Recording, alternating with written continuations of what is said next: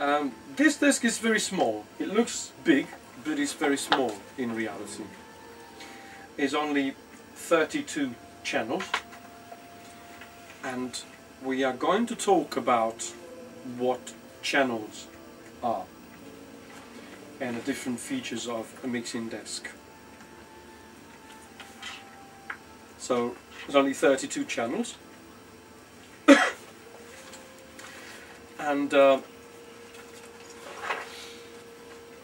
is fitted with a computer which you will learn to uh, see in the next few days. You can watch this monitor to see the desk computer which is used to allow us to perform a lot of tasks related to uh, this machine. And then uh, um, this desk features also something that we call automation. You see if it's working. Um, in the old days it was done by people. In the old days it was done like uh, when we were performing the final mix, the band and the producer were all sitting behind the desk and all their hands moving faders and, and playing with it. They had that um, dark side as well. Yes, That's that's, that's, that's one of the many examples of old school mixing and today we do that with automation.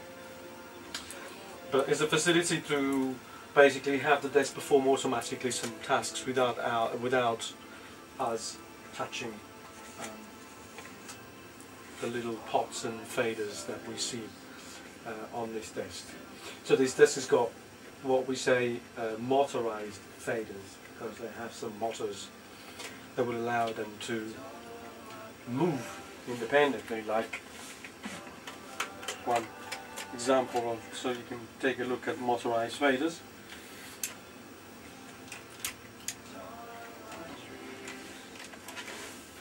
and so like for example with one fader I can move a whole lot that seems quite weird isn't it but that's exactly what motorized faders are about plus um, this desk is able to move the faders by itself without me touching them.